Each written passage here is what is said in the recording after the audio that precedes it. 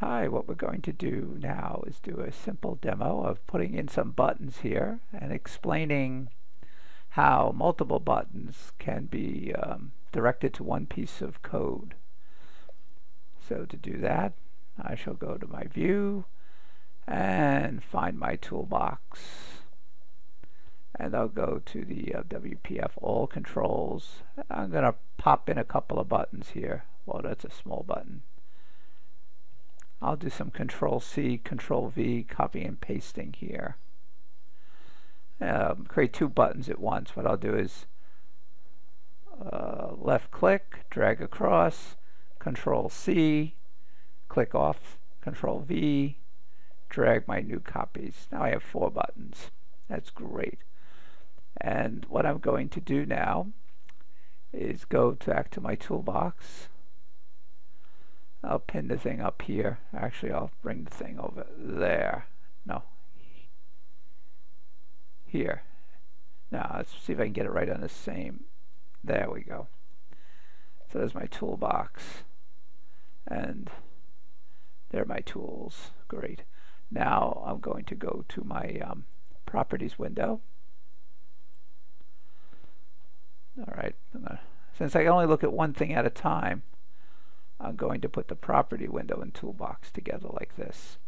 And here, each one of these things is called a button. There's button, button 1.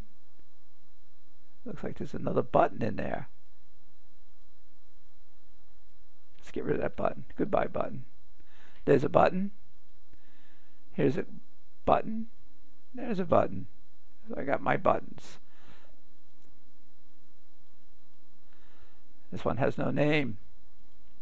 Well, we'll fix it later. So I'm going to give this a button. I'll call it B1. So now it has an official code name, B1. It's an object with a name. I'll call this one B2. It's got a name. I'll call this one B3. And this button, I'll give it a name, B4. Notice it's not the content. Content, it just says button. This content has nothing in it. So I'll call that button. Button. So now I have these three objects. I can patiently wait for this thing to compile. My computer is pretty fast here at home. And then I'm clicking, not going anywhere because there's no code associated for this thing. Um, I have a full system installed here. So when I click anything, it's telling me what's going on. I don't want to see any diagnostics at the moment. End that program. There, end it. Done. Okay, so now I want this thing to respond, and as we know, we go back to our properties. Here's our properties. And instead of, now I'm having this wrench, Actually, I mean, these are basically variables, uh, things that we can change. If I go to the lightning bolt here, that's an action. These are all the actions. If someone presses a key, the key is up. I press a key, the key is down. Press the key is up. I can have this button respond. Um, is focus, got focus. Uh, let's see, drag over. That is if I move my uh, mouse over it, notice it's dragging over, it's glowing. I could have it do something at that point too, instead of waiting for it to click. But as traditionally, we like clicking. So I'll call it button. Click. Boom, button click. There it is, button click. And nothing happens there. So I'm going to go to this one here, and I'm going to call it button click. And I'm going to copy that, Control A, Control C, button click, oops, button click, button click, button click, oops, clicks. Gently, button click. So now all of them will come right here. And I can prove that And I can, well, who's going to, how do I know the sender is going to be that thing, that object? So I could say button. There's an object called button. There it is. That's the symbol that there's an object and it has things you can do with it. Button. And I'll call it B for button. And button will equal the sender. If I could spell sender.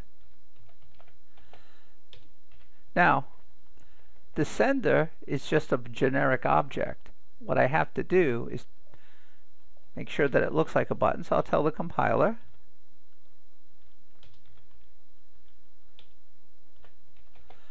look at it, look at the sender as though it were a button. So now I actually know the button has been sent here. So I can say B, whoever you are, let's change its content.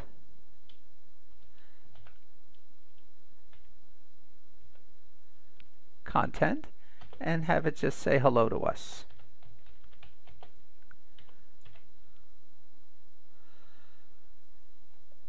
Oops, missing an equal sign there.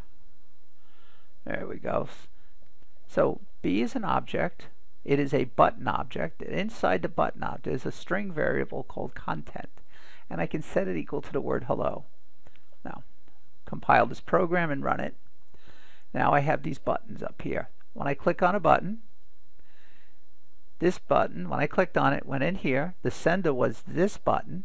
It said hey, the object that got me here was button number two. It took the sender, converted it so it looks like a button. It was a button. So now B says, okay, B, you're a button. Inside buttons, there's this variable called content. Set it equal to hello. When I click this button, hello, hello, hello, I could do that. So I have this ability to identify the sender of of, uh, of a click. So I'll pause right here for you to um, replicate this and get it working and then we'll go on to uh, another phase.